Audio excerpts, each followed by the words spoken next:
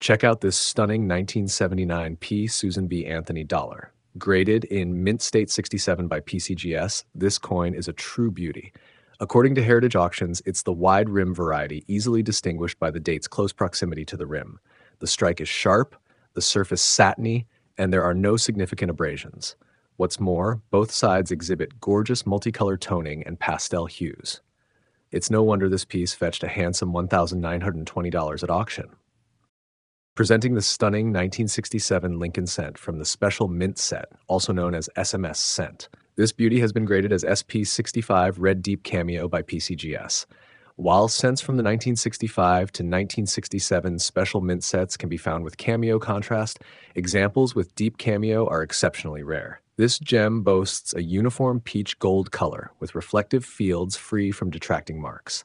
A must have for the advanced Lincoln Cent collector, this piece sold for an impressive $3,360. Introducing a remarkable error coin, the 1946 D Washington quarter struck on a dime planchette. Graded as Mint State 61 by ANACS, this coin is highly lustrous, displaying deep rose and golden brown toning. Its centering with the date and mint mark on the flan is remarkably fortuitous for such an error. Wrong planchette errors like this one are always visually dramatic and highly desirable among collectors. This exceptional piece sold for nearly $3,000. Here's a fascinating find. A 1942 Jefferson nickel struck on a silver alloy planchette, specifically a Type 1 variety. This is an extremely rare transitional error. Despite its heavily circulated condition, this error coin was graded as good 6 by PCGS while 1943 dated cents struck on copper planchettes fetched spectacular prices, similar wartime wrong alloy transitional errors on Jefferson nickels are significantly rarer. This particular coin is struck from Sands mint mark Type 1 dies, yet is struck in the silver alloy composition associated with the Type 2 design, bearing a large P mint mark above Monticello. It was sold for nearly $10,000. Here's a fascinating find a 1969 S Lincoln cent with a double die obverse. Graded as AU58 by PCGS, this coin's double die obverse is visible without magnification, much like the famous 1955 double die obverse Lincoln cent. A general rule suggests that the more visible the doubling, the more popular the variety becomes among collectors. Another key factor in its popularity is its listing in the guidebook. Varieties such as this double die, listed in the popular Red Book, enjoy substantially greater popularity. This example exhibits a trace of wear on the highest design points, while retaining splashes of original orange mint luster on its olive surfaces. Minor carbon specks are visible, including a few larger spots on each side. It fetched an impressive $25,300 at auction. Here we have a captivating piece, the 1909 VDB Lincoln Cent with enchanting toning.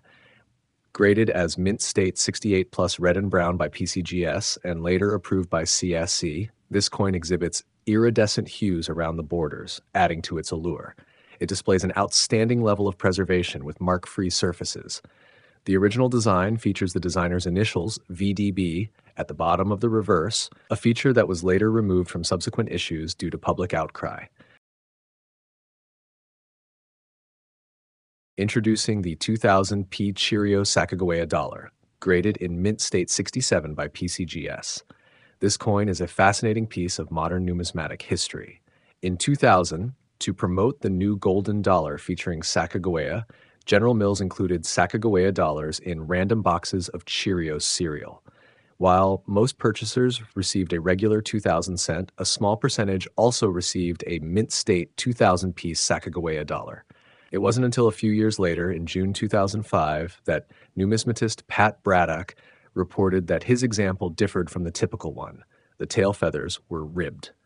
This lot also includes the original 2000 Lincoln cent that accompanied the dollar in the cereal box graded MS65 red by PCGS. This unique piece of numismatic history sold for $5,760, offering collectors a glimpse into a unique promotional campaign. Here we have the 1925 Vancouver half dollar, um, graded in Mint State 67 by NGC. This coin holds a special place in numismatic history. as it was struck to commemorate the 100th anniversary of the founding of Fort Vancouver. Initially sold at $1 each in August and September 1925, the coin's limited sales were due to the fact that the founding of Fort Vancouver was not considered a significant national event. With an original mintage of only 14,994 pieces, the Vancouver half dollar became one of the rarer commemorative half dollar types. By 1928 to 29, these coins were fetching as much as $10 in the numismatic marketplace, though prices settled back down to the $6 to $7 range by the 1930s. Today, the Vancouver half dollar is considered one of the more desirable coins in the 1892 1954 Classic Era series, especially in gem condition. This superb gem specimen was sold for $2,880 on January 22, 2024, adding to its allure and value among collectors.